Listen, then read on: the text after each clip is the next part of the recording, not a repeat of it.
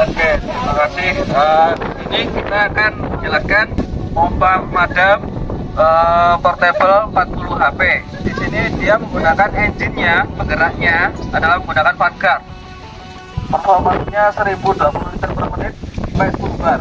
Jadi sistem primingnya ada dua, bisa manual, bisa otomatis. Manual maksudnya seperti kita uh, pakai throttle, kalau otomatis kita pakai tombol priming.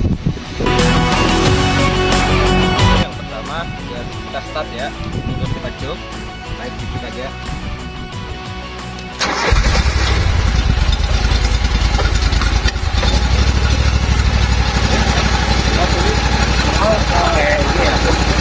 Kita pakai dua model. Yang pertama kita pakai auto dulu ya. Auto dulu. Ya. Ini posisi auto, maka kita pakai menggunakan throttle.